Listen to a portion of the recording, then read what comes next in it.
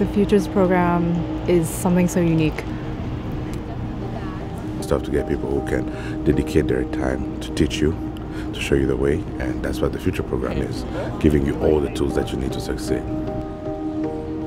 Being in nature and being around a group of such genuine uh, people, I don't think it gets much, much better than that.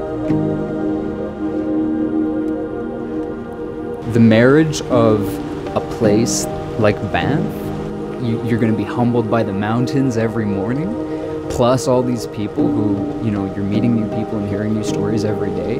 It's, there's nothing like it. It was in Lake Moraine in the cold morning.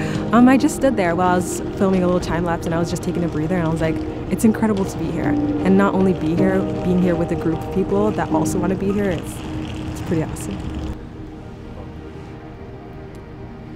I would describe the Futures program as a place where creators have come together with some mentors that are awesome and humble because there was no distinction between talking to you know the other mentees in the program and the mentors. Everybody was just here to connect and genuinely help each other out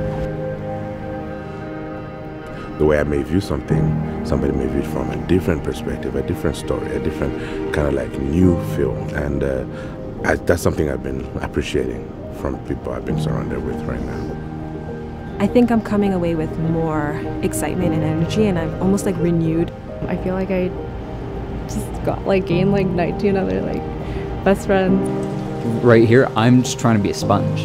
And this is a conducive atmosphere to that because you're you're around people who are going to push you to experiment and step out of your comfort zone.